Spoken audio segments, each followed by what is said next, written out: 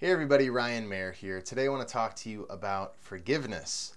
Forgiveness is one of those things that we love to receive, but it's a lot harder for us to want to give out. And I find that kind of funny because Jesus died for all of our sins. God gave his son to die in our place and completely pay the debt that we could never repay. It's like owing a massive, massive amount of money that you could never, ever pay back. And then somebody comes along and says, Oh, you don't have to pay that anymore. Well, Jesus actually told a parable in Matthew 18 of that exact situation where a man owed the king millions upon millions of dollars that he could never repay. And the king was going to throw him and his family in prison. They were going to have to work it off. They could, they're going to be in prison forever right? So he begged and pleaded for the king to have mercy on him. And the king decided to have mercy. And it was amazing. He forgave this massive debt that no one could ever repay.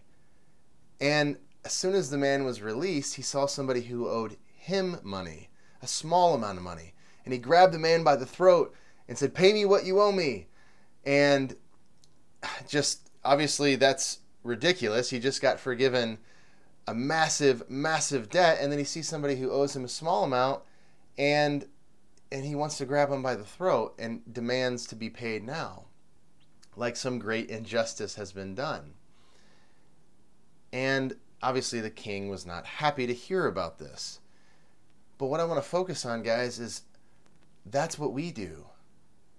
We've been forgiven this massive, massive sin debt and then we turn around and are unwilling to extend forgiveness to someone else, that's not going to make the king very happy.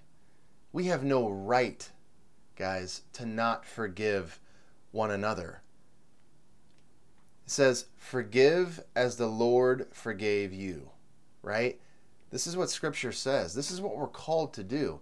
And believe me, I understand that it's difficult and a lot of times we're not used to forgiving. We're used to being stuck in our own, uh, you know, righteousness that they sinned against me, they were wrong, they're the ones that messed up, I'm right, they're wrong. But you know what's funny about that? Is before God, we stand just as guilty before God as anyone who has ever done anything against us, right? We've all missed the mark, we've all sinned, we've all fallen short. And so let's cut each other some slack. How about that? How about we cut each other some slack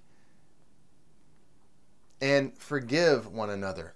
And the Lord commands us to do this forgive as I have forgiven you. So that's not a suggestion, that is a commandment. And so I think we owe it to the Lord to extend forgiveness to others because He was so gracious to do that for us.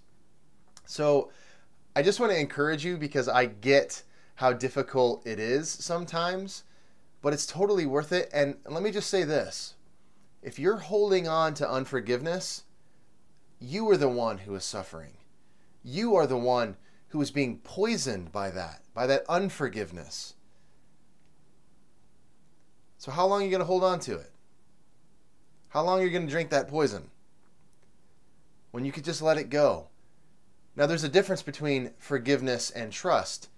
You can forgive someone and not necessarily trust them, and someone can work on regaining your trust, but it's just poisoning you to live in unforgiveness. So I just want to encourage you.